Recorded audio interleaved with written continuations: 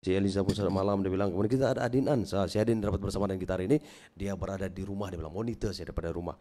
Oke, kita juga ada Putra Hafiz. Ah ini kita menyerahkan yang hari itu. Ah sudah kita panggil dia bersama dengan kita dan kali ini turn si si, si Nasri pula punya turn lagi kali ini.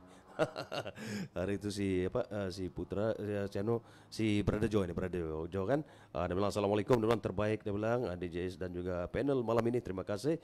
Uh, kemudian kita ada si Godfrey, Godfrey Andang ada selamat malam DJ ada berdua apa kabar? Dibilang kabar baik. Oke juga kita ada siapa lagi kita ada Juh si Jeff Musafir pun ada bersama dengan kita. Terima kasih rekan-rekan yang sudah pun bersama dengan kita pada hari ini. Yang pentingnya teruskan stay tune bersama dengan kita. Jangan lupa kasih share share kami di Pesio FM ah itu Pesio FM oh, saudara Nasli Ah, Ya. ini, ini kita benar berada ini. Ini kawan lama juga ini. Dulu aku pun mana aku beli kenal sama kawan itu. aku pun tiba-tiba kan boleh dia tahu cuman aku beli kenal sama dia ini. Tapi itulah dia ini paling banyak buat lagu ini. Daripada si Rudy juga nih. Rudy kan. Ya, aku ya, pun biasa. negat sudah. Aku pun negat sudah daripada mana aku boleh berkenalan sama kawan ini kan. Tapi itulah uh, untuk meluman ah, ini juga kita punya komposer hebat nih, geng. Dia banyak melahirkan orang-orang, banyak juga lagu-lagu yang dicipta. Setakat ini berapa lagu yang kau buat sudah?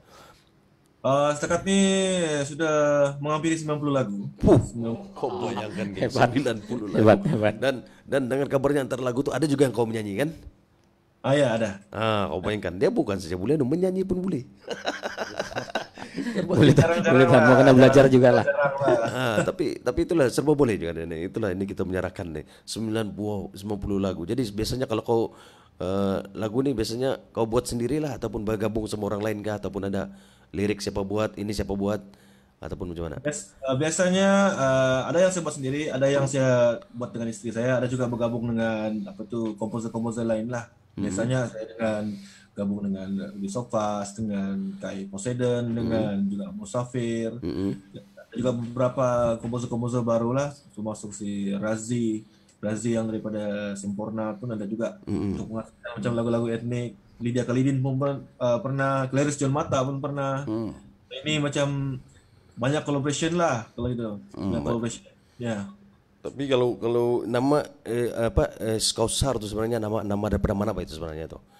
Skausar S Studio. Kausar tuh sebenarnya S Nazri Kausar. S itu sebenarnya nama bapak saya, Said Ali. Biasanya depan nah. Orang putihnya Ya, style S.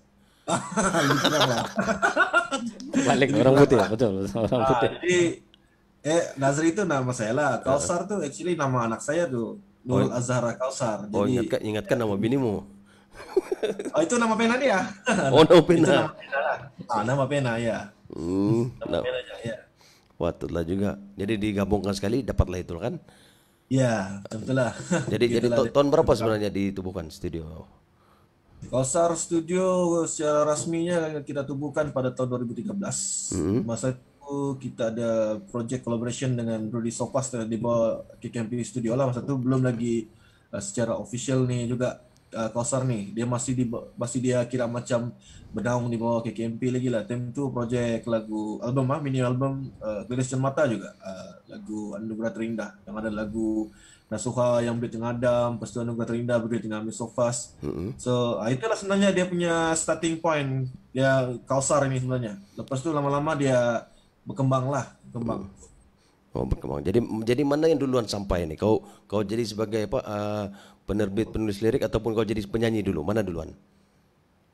Ah, sebenarnya ah, buat lagu dulu lah, jadi penulis lirik daripada komposer dulu. Penyanyi itu sebenarnya actually itu tidak juga orang cakap saya ini mau terus fokus pada nyanyian? Tidak itu mungkin ada setengah-setengah ada setengah-setengah apa orang cakap lagu tuh mungkin yang mungkin saya mungkin saya sendiri nak nyanyi lah. Contoh macam lagu saya duet dengan Tika Minda Satria pasal guru mungkin saya lebih sesuai nyanyi sebab saya guru mungkin saya ada feel ya kan sebagai seorang guru tuh jadi dia sebenarnya bergantung juga.